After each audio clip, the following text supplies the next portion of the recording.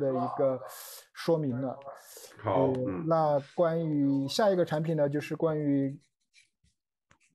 A 股吧，曲老师，刚才我们提到了这个中国的这个呃经济数据，呃不太好，特别是社嗯融数据下降的力度实在是太快了。嗯，呃，那么对这个 A 股有什么看法？呃，近期咱们国内的宏观的数据确实不是说特别利多于 A 股，呃，就包括经济数据也好，还是说在政策上的一些呃变化也好，那给 A 股还是形成了一定的压力。但我们也知道，呃，上周市场在呃外盘的表现是不好的，包括富时指数也好，呃，或者是香港的呃香港恒生指数也好，那所以我觉得，嗯，在迎合我们之前的一贯的思路，我们依然认为，我个人依然认为来说上有天花板，下呃可能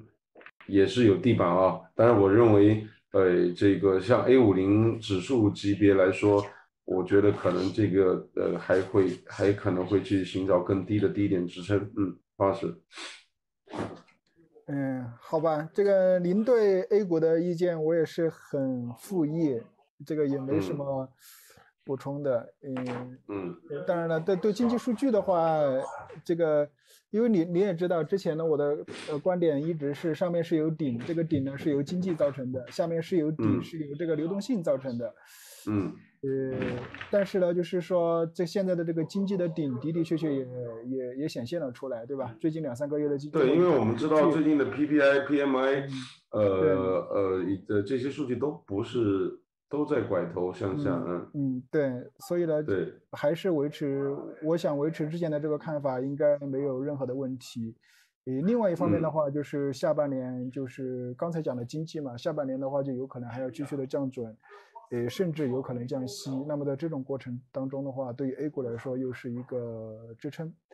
没错。当然我，我黄老师，我讲这个问，呃，也就是延伸一下您这个问题。其实我个人认为啊，市场如果久了，它可能会依赖降准或者降息。方式，对对对对，对，现在它是现在市场会有依赖性，嗯。嗯，盼着。对，因为因为我们也知道，呃，高层或者这个呃，国务院已经其实有一定阐明，阐明了市场会有一个这个观望期和等待期，那看这个政策的情况。那如果说对于金融市场而言，那你等待的越久，可能对市场是越不利。嗯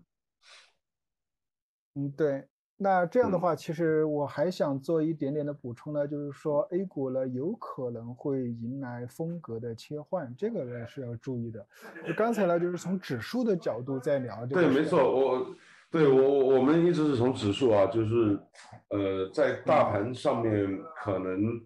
呃，就像您讲的，可能这个风格切换，那又是另外一回事。嗯嗯，对，因为最近的话，像这个宁德时代啊等等这些股票的话，的的确确有点筑顶的这个初步的迹象，这个是需要去注意的。而且嗯在上一周，宁宁宁德时代也不是出了一个大的案子嘛，对吧？对，嗯，这个这个融资将近六百个亿，所以这个资金量也特别的大。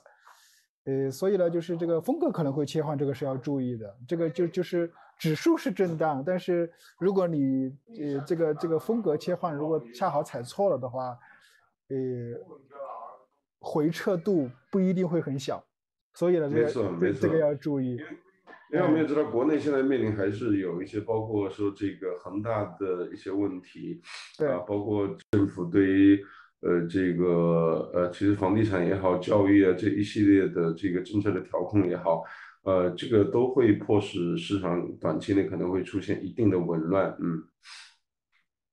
对，呃，但是呢，也不用特别的悲观，因为既然是风格的切换，有一部分股票呢可能就会下来，但是另外一部分股票呢，也有可能就会就会上去。也关于这个，呃，在风格切换之下，哪些方面可能会有利好？邱老师，你有一些什么方向给我们提到吗？呃，呃，我觉得这个这个呃这个就是跟现在我们国家的一些主要的一些方向相关的呃一些领域，可能呃会相对稳一点。那就是嗯，比如说在制造业上面，然后在呃，我想在医药行业、医药方面。然后在这个呃，嗯，怎么说呢？就是在一些科技赛赛道型的科技企业，我觉得可能还是会有一些机会吧。嗯，好，那那这个就谢谢啊，这个这么这个没有没有这个，王老师说明一下，就是咱我们对股市，我对个人对股市，我们还不是说就不敢去乱评论，只是当做。对对，聊一下，嗯，只是只是一这个是这一些方向性的一个一个选择嘛，具体的个股的话就，呃，各位朋友自己去 选了这个。没错，因为我我我们也我也看到说市场最近关于这个风格切换的讨论热度非常的高。嗯，对，嗯嗯。其实如果大如就像您刚刚说的，邱老师，就像如果大家都在讨论这个话题的话，那就有可能会真的会切换，因为市场会反映。大家的没错，会有一个认可，嗯，对，所以呢，就是从机会的角度来讲，大家更应该好好的去想想未来的机会是啥，或许呢就真的踩中了，嗯，啊，没错，没错，是的，或许真的踩中，因为现在股市大的结构就是刚才讲到了嘛，就是震荡，这个这个其实就这个就意味着这个风险就相对可控，可以的对，当然我们从。就是从我们宏观，或者是从这个从外盘的角度来去看的话，其实那如果一旦说未来呃会出现一些动荡，或者是呃就是我我指的是金融系统呃或者说这个呃中美之间的这些这些情况，那可能包括一些资源类的股啊能源类的股，我认为呃有一些还是不错的，嗯嗯，好。那这个关于 A 股的话，整个的态度呢也是比较明确，也就是说，从指数的角度来讲呢，有可能是震荡，呃，但是呢，就是目前呢就重视一下这个风格的切换。哎，对了，嗯，OK，呃，那好吧，其他还有什么要补充的一些内容吗，曲老师？呃，我这里呃，我不知道黄老师还有没有一些一些。一些呃，这个品种要讨论的，嗯，没有了，我我认为就嗯，就是这些。